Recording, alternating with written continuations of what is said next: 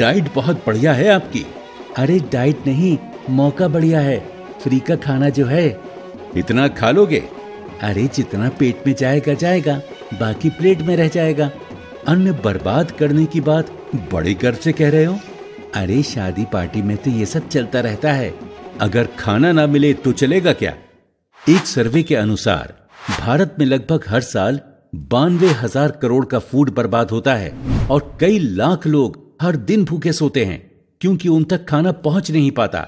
और जो खाना आप तक पहुँचता है, उसके लिए भी किसान दिन रात एक करके अपने खेत में मेहनत करते हैं। अच्छी क्वालिटी के बीज बोते हैं। सही समय पर उचित मात्रा में खाद और कीटनाशक का प्रयोग करते हैं और महीनों तक देखभाल करते हैं, तब जाके ये खाना हम तक आता है। भोजन की कीमत को पहचानो वेस्टेज को रोकने की ठानो, ताकि सभी को खाना मिल सके और हमारा देश आत्मनिर्भर बने।